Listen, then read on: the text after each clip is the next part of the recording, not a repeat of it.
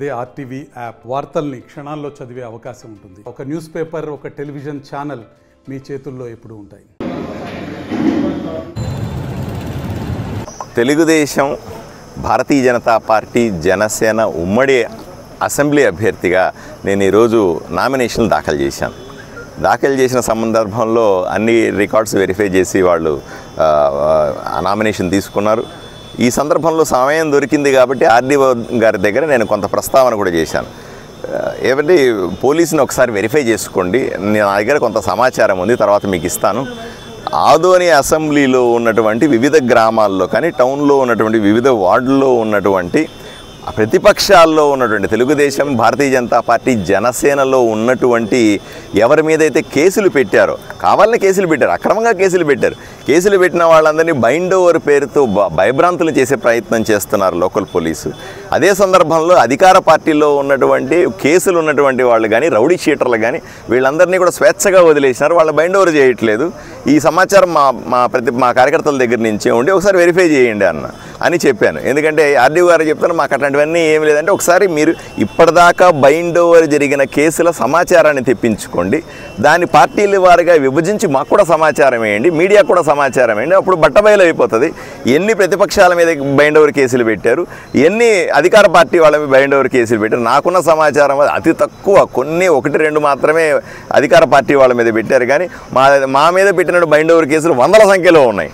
దీన్ని నేను ఆర్డీఓ గారి దృష్టి తీసుకెళ్ళాం ఎన్నికలు నిష్పక్షపాతంగా జరిగే విధంగా ఎందుకంటే చాలా అవకాశాలు కూడా ఉన్నాయి. అధికారంలో ఉన్న వైఎస్ఆర్ వైఎస్ఆర్సీపీ పార్టీకి అధికారంలో ఉన్న వైఎస్ఆర్సీ ఎంపీ ఎమ్మెల్యేకి అనుకూలంగా అధికారులకు కింద స్థాయి అనుకోవాలి పై స్థాయి అధికారులకు తెలియకుండా కింద స్థాయి అధికారులు కింద స్థాయి పోలీసులో ఆ రకంగా వ్యవహరించే అవకాశం ఉంది. వాళ్ళు మ్యానిపులేట్ చేసే అవకాశం ఉంది కాబట్టి దీన్ని ప్రత్యేకంగా పట్టించుకోండి అని వాళ్ళు విన్నవించాను.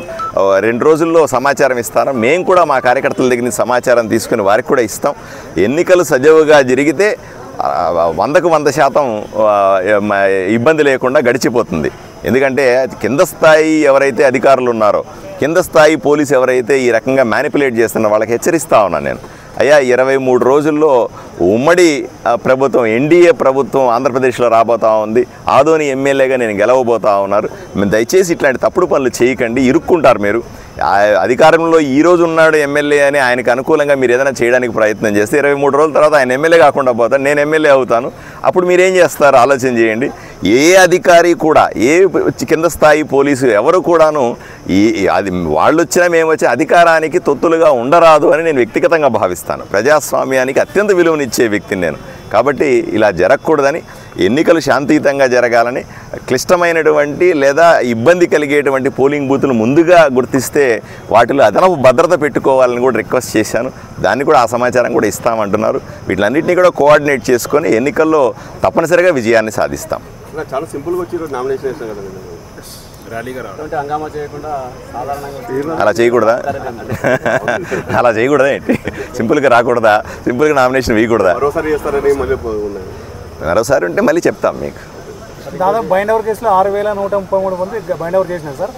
వాళ్ళంతా ఎస్పీ దృష్టి తీసుకుపోతే కరెక్ట్గానే చేసినామని చెప్తున్నారు. మీరు చూస్తే పోలీస్ అధికారులు వైఫల్యం అని చెప్తున్నారు. అదేనండి. ఇన్ఫర్మేషన్ తీసుకున్న తర్వాత మీ దాకా వస్తే మా దాకా వస్తే ప్రజలకు ఓపెన్గా చెబితే ఏ పార్టీ నుంచి ఎన్ని బైండ్ ఓవర్ కేసులు పెట్టారని చెబితే అన్నీ ట్రాన్స్పరెంట్గా ఉంటే మంచిది కదా. ఇదే దీన్ని దాచిపెట్టేది ఏముంది?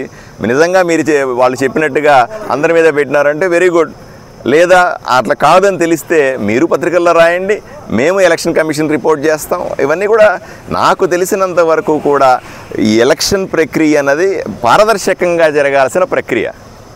అంతే తప్ప ఏదో దాచిపెట్టి ఇన్ఫర్మేషన్ చేసేది కాదు. బహిరంగపరచండి. ఎన్ని ఏ పార్టీ మీద ఎన్ని బైండ్ ఓవర్ కేసులు పెట్టారని బహిర్గతంగా చెప్పండి తప్పేముంది దాంట్లో? మీరు చెప్తున్నారు డైరెక్ట్గా వాళ్ళ మీద కేసులు నమోదు అక్రమంగా లోకల్ నాయకుల మాటలు విని చెప్తున్నారు ఎవరు నా ఈసీ దృష్టికి తీసుకొని పోయి ఇవన్నీ బయట ఓవర్ చేసినారు. మీరు డైరెక్ట్ నేరుగా చెప్తున్నారు కదా ఎట్లా పరిశీలించినారు? వందకు వంద శాతం మా కార్యకర్తలు ఇచ్చిన ఇన్ఫర్మేషన్ని నేను వాళ్ళకి పాస్ ఆన్ చేశాను. వాళ్ళ ఫర్దర్ ఇన్ఫర్మేషన్ వాళ్ళ అధికారులు నాకు ఇవ్వాల్సి ఉంది. ఇచ్చిన తర్వాతే దాని మీద మాట్లాడగలుగుతాను కదా. కూటమిలో జనసేన కనిపిస్తుంది. ఏముంది? నేను దాకా కనిపించింది ఈరోజు కనిపించదా?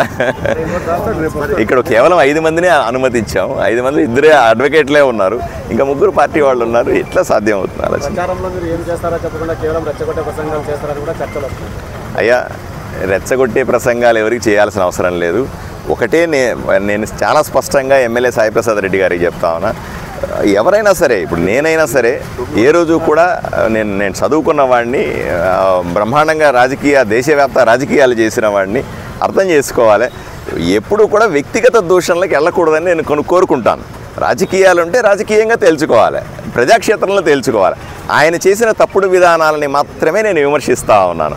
నేనేదన్నా నా నా మా పార్టీ విధానాలు నేను అభ్యర్థిగా నా విధానాలు సరైనది కాదు అని ఆయన భావిస్తే ఆయన సంతోషంగా విమర్శించుకోవచ్చు. నాకు ఎటువంటి అభ్యంతరం లేదు. కానీ నా కుటుంబాల గురించి కానీ లేదా నేను నేను ఎప్పుడు నా జీవితంలో ఇప్పుడు నేను జైలుకి వెళ్ళలేదు. నువ్వు జైలుకి వెళ్ళావు జైలుకి వెళ్ళావు అని పది చోట్ల మాట్లాడడం అనవసరమైనటువంటి నా కుటుంబ నా భార్య బిడ్డల్ని తీసుకొని వచ్చి ఎలక్షన్ ప్రచారంలో పెట్టడం నోటికొచ్చినట్టుగా కుటుంబం గురించి మాట్లాడడం తప్పుడు విధానం కదా.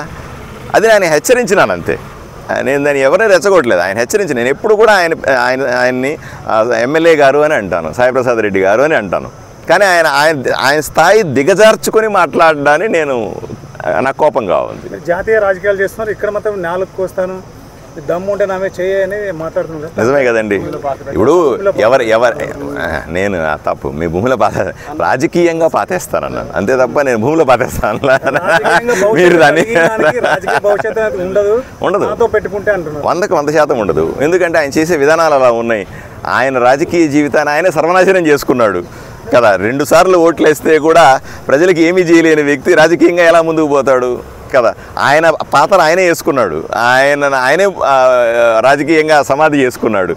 నేను మనం ఏం చేస్తాం దానికి? ఆయన చేతులారా చేసుకుందాం. నేను ఎలా బాధ్యం అవుతాను? నేను ప్రజల వాయిస్ను మాత్రమే చెప్పగలను. ప్రజల మనసుల్లో ఉన్నది అందరూ చెప్పలేరు.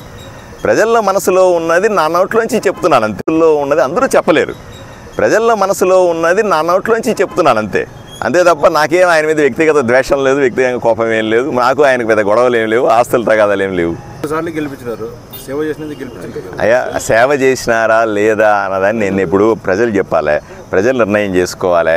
సేవ చేయలేదు అని ప్రజలు అంటా ఉన్నారు. నేను చేశాను చేశానంటే అయిపోద్దా? సేవ చేసినది సార్. గెలుపు ప్రజలు తెరిపించినారు కదా? మూడు సార్లు తినిపించినారు డెబ్బై సంవత్సరాలు కాంగ్రెస్ కూడా పాలించింది.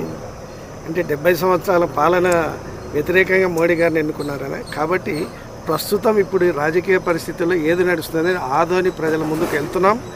ఐదు సంవత్సరాలలో వీరు చేసినటువంటి ప్రగతి ఇంతకుముందు ఏదో మా తాతలు చేసినారని కాదు. ఈ ఐదు సంవత్సరాల్లో ప్రగతి మీద ప్రజల ముందుకు వెళ్తున్నాం ప్రజాక్షేత్రంలోనే నిర్ణయించుకుంటాం. ఇంకోటి వలస పక్షులు వస్తుంటాయి వెళ్తుంటాయి ఇక్కడ స్థానికంగా వాళ్ళే చాలా ఆ, నేను నేను పక్షి కానీ నేను వలస పక్షి ఆయన కూడా వలస గండు పిల్లి. కదా? ఆయన ఎక్కడి నుంచి వచ్చినాడు? చెప్పండి మరి. నేనైతే ఎక్కడి నుంచి వచ్చినా అంట. నేను కర్నూలు నుంచి వచ్చినాను. బా సంతోషమే నేను వలస పక్షి అనుకుందాం పోనీ. కర్నూలు నుంచి నేను ఈ రోజు నుంచి ఆదంలోనే ఉంటాను. ఆదంలో వాసిగా ఉంటాను అంటున్నారు మా ఆయన ఆయన నుంచి వచ్చినాడు? ఆ గండు పిల్లి ఏడొచ్చిందని వచ్చి చెప్పాలి కదా మీరు? మరిన్ని వీడియోస్ కోసం ఛానల్ని సబ్స్క్రైబ్ చేయండి. లేటెస్ట్ అప్డేట్స్ కోసం వాట్సాప్ ఛానల్ని ఫాలో చేయండి. అండ్ లింక్ డిస్క్రిప్షన్లో ఉంది.